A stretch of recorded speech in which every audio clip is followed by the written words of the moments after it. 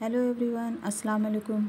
आज हम लोग एकेडमिक उर्दू में नज़ीर अहमद दहलवी के बारे में, जिनको डिप्टी नज़ीर अहमद भी कहते हैं, के बारे में पढ़ेंगे।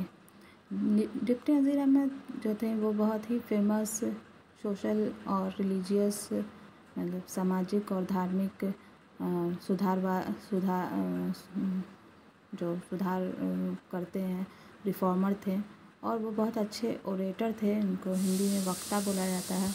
हिंदी में वक्ता कहा जाता है, बोलने वाला।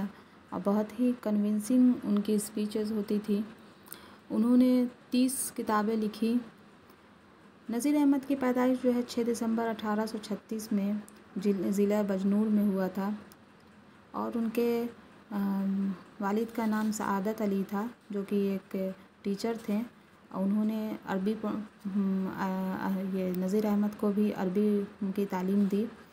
तो नज़ीर अहमद की जो है, इब्तदाई तालीम जो है, गाँव के ही मकतब में हुई और उनके वालिद ने उन्हें अरबी फ़ारसी की तालीम हासिल की, करने करने में मदद की और मौलवी नसरुल्लाह ने भी उन्हें, ने भी उन्हें अरबी किताब तालीम दी और फिर वो दिल्ली चले गए आगे की तालीम के लिए हासिल करने के लिए। और उनको स्कॉलरशिप मिला था तो उन्होंने दिल्ली में ही उर्दू इसमें उर्दू सब्जेक्ट में उन्होंने वहाँ एडमिशन ले लिया। और उसी दौरान उन्होंने अब्दुल खालिक के के इस गाइडेंस में उनके वालिद साहब ने उन्हें छोड़ा था। तो और बाद में आगे जाके अब्दुल खालिक साहब की पोती से ही उन्होंने शादी की थी।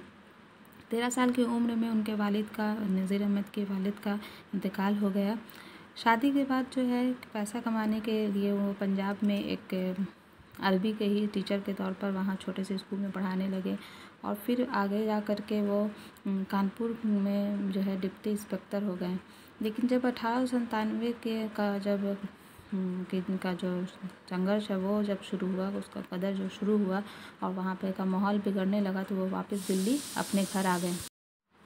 डिप्टी नज़ीर अहमद को उर्दू का वली नावल निगार कहा जाता है, क्योंकि उनका मिरातुल जो है, वो अठारह सौ उनहत्तर में पब्लिश हुआ और उसका जो उसका जो दो किरदार है उसके अकबरी और असगरी, दो बहनों की कहानी है।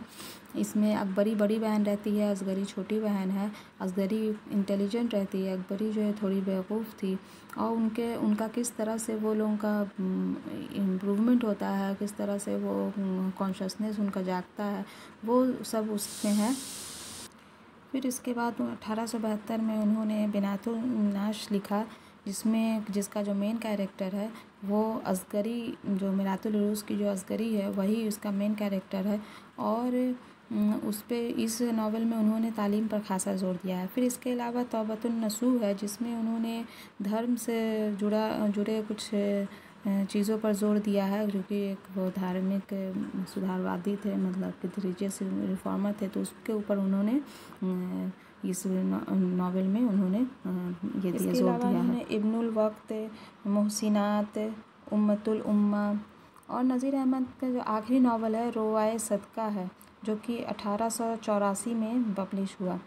और नज़ीर अहमद के नावलों को अगर हम लोग देखें तो उसके जो है ना, काफ़ी दूर अंदेश असरात होते थे मतलब कि काफ़ी लंबा असर उसका होता था। और उन्होंने काफ़ी हद तक हर फ़ील्ड को छुआ, जहाँ जहाँ जहाँ पे बुराइयाँ दिखी, जहाँ जहाँ पे इम्प्रूवमेंट चाहिए था, वहाँ वहाँ पर उन्होंने उस सारे फ़ील्ड के बारे में उन्होंने लिखा, सारे इसको, अज्जा को उन्होंने छुआ। चौहत्तर साल की उम्र में नज़ीर अहमद को पैरालिसिस असर हुआ और 28 दिसंबर 1910 में उनका इंतकाल हो गया। और इसके बाद हम लोगों को डिप्टी नज़ीर अहमद की ही, की एक नावल का ही एक कॉन्वर्सेशन है, दो माँ बेटी के बीच का। उसके बारे में हम लोगों को पढ़ना है, फहमीदा और मंजली बेटी हमीदा की गुफ्तु जो कि हम लोग नेक्स्ट वीडियो में पढ़ेंगे। Thank you